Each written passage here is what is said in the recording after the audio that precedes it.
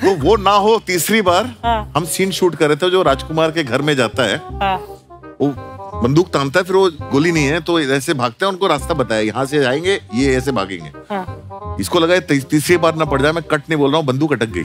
हाँ। तो उसके बाद जो भी हुआ सब नेचुरल था। वो भागे दोनों रास्ता बोल गए किधर से भागा उधर से भागा दोनों एक दूसरे को क्रॉस किया मैंने कहा ये तो सिचुएशन है ये तो कोई लिख नहीं सकता। फिर वहाँ से चेस शुरू हुई और फिर उसके बाद गाना बना। वाह यार क्या बात है।